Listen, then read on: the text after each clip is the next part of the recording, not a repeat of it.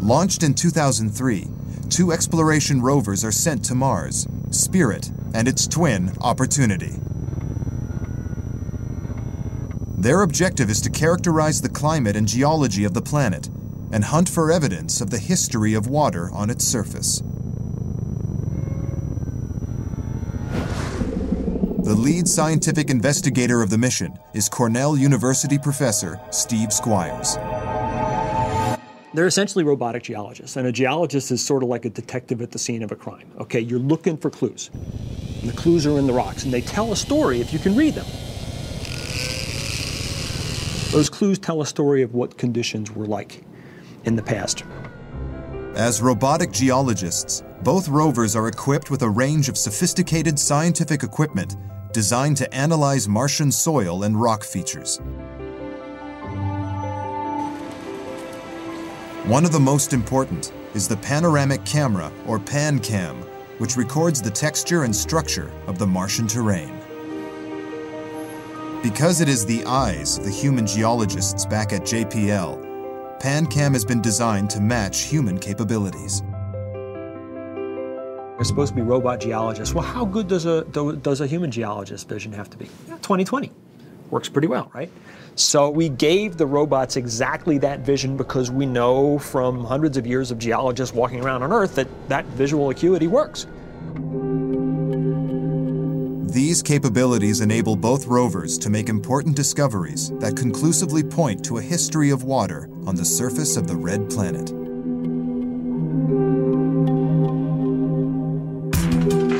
This is Meridiani Planum, the landing site of the rover Opportunity in January 2004. It's a dusty area the size of Oklahoma. Photographs relayed back to Earth reveal the soil is littered with countless BB-sized rocks. NASA scientists nicknamed these puzzling objects blueberries. On Earth, similar deposits form, but only in standing water or hot springs. Geologists have uncovered blueberry-like clusters dating back millions of years in Lake Superior and near the hot springs of Yellowstone National Park.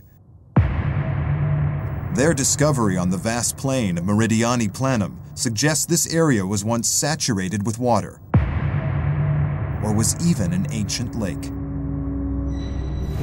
In fact, closer examination of the surface of the planet reveals that much of it was once a water world. These images, taken by a high-resolution stereo camera aboard the Mars Express spacecraft, reveal Mars's watery, almost Earth-like past. This is a large depression called Iani Chaos, and next to it an outflow channel called Ares Vallis. They're the remains of Martian river systems,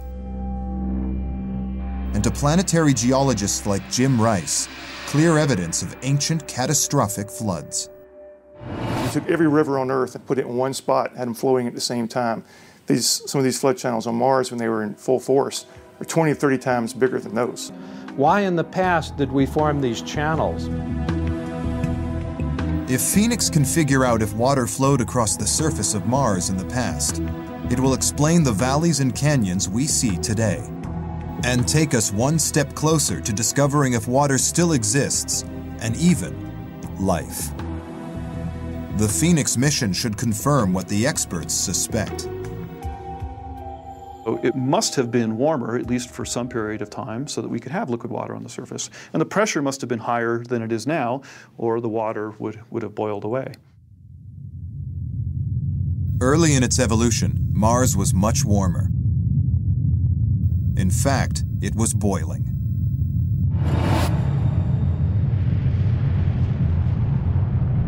4.6 billion years ago, our sun bursts into life and our solar system forms around it. Both Earth and Mars are huge balls of lava, boiling at over 12,000 degrees. Slowly, they begin to cool. Dr. Peter Smith heads up the Phoenix mission from its base at the University of Arizona.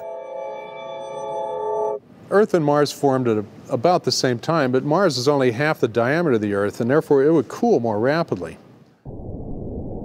Mars's size proves to be the crucial factor in its transition from a fiery molten ball into a warm and wet planet. In this demonstration, two globes are used to represent Mars and our own planet, Earth. These scale models exactly replicate the difference in size of the two planets. Mars, shown here on the left, has half the diameter of Earth. Both spheres have been heated to the same temperature. Now they are cooling naturally. Infrared time-lapse clearly shows how quickly the smaller sphere representing Mars cools.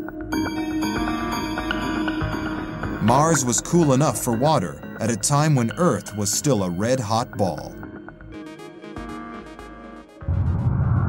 This water comes from comets, the early solar system is littered with large asteroids and comets made up of ice. As they crash into the planets, the ice melts. On super-hot Earth, the water boils away instantly. But Mars is cool enough to hold on to the huge quantities of water released by impacts. And in that cooling, uh, liquid water would be stable on the surface long before it would be stable on the earth. And so during that period, it may be that you had rains and, and valley systems and, and uh, lakes and all kinds of Earth-like situations. Scientists believe that 3.9 billion years ago, Mars had the climate and atmospheric conditions to support liquid water, an essential ingredient for life.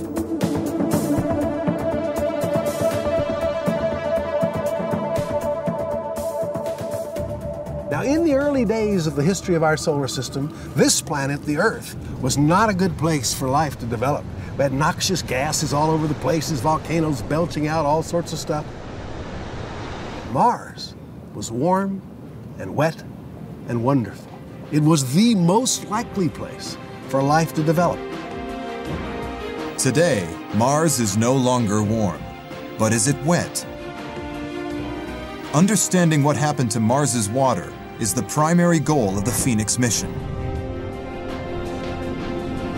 Its success might hold the key to answering a 30-year-old question. Does water still exist on Mars? Scientists are now certain that Mars was once warm and wet. Pictures of ancient riverbeds, blueberries on the surface, and carbonate globules inside the Allan Hills meteorite confirm this view. But if there was water billions of years ago, where is it today?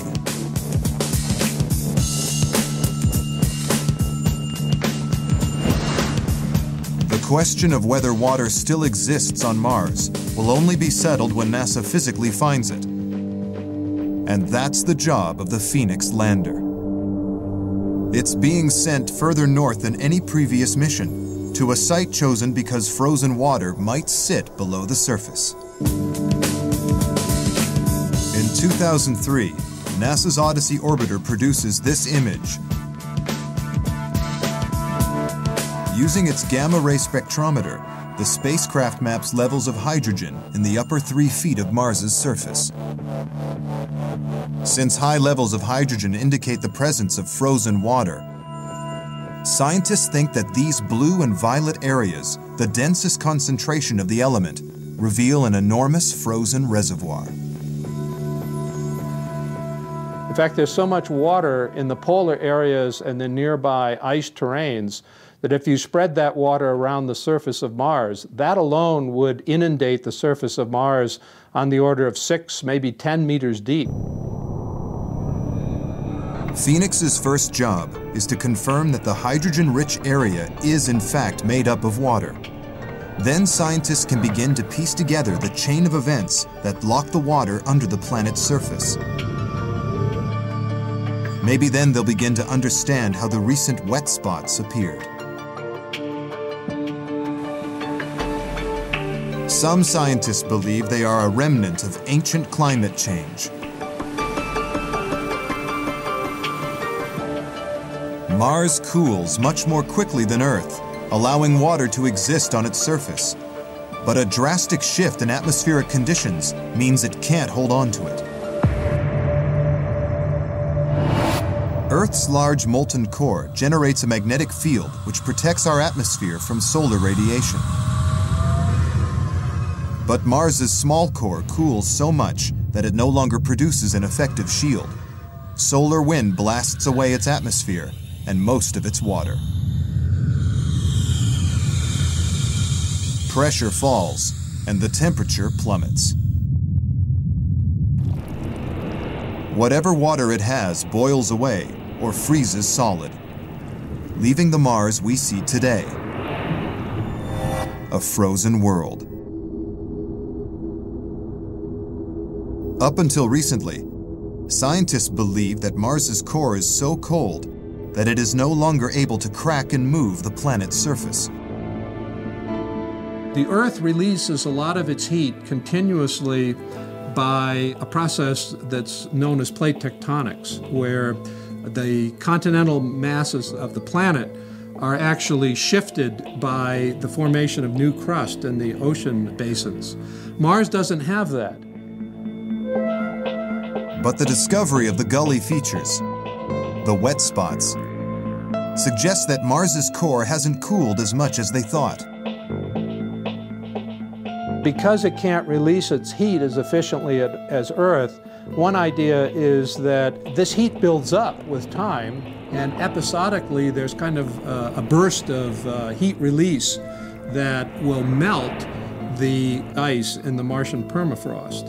And that water comes onto the surface, perhaps associated with gases that change the composition of the Martian atmosphere to a, a greenhouse kind of condition. And so you have a temporary, unstable state where Mars is warmer and has water on the surface. These small flash floods could be the wet spots that dot the surface of the planet. It's natural to suspect that maybe this uh, volcanism that has uh, happened in recent history and the water activity are somehow related. But uh, this is one of the mysteries we're trying to investigate, and uh, I think it's one of those that uh, the Phoenix lander may be able to shed some light on. By finding ice and analyzing its composition, the Phoenix lander is designed to map the planet's ice history it will tell us how geothermal activity and atmospheric change have affected Mars's ancient water.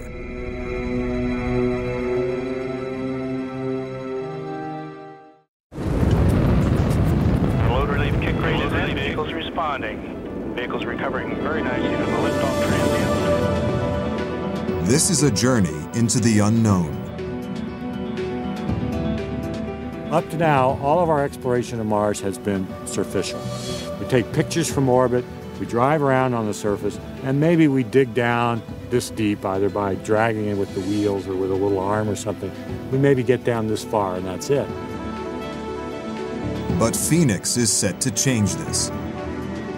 It's designed to endure Mars's northern latitudes and to analyze subsurface ice. NASA hopes its findings will throw light on how water interacts with the geology of Mars, the key to unlocking the story of past atmospheric change. In order to achieve this goal, it's been built to do something no other Mars lander has done before. Phoenix is going to arrive on Mars and land and dig. A sophisticated robotic arm will dig down three feet into the frozen subsurface to where the layer of water is believed to be. At nearly eight feet, the arm is the most important tool on the lander.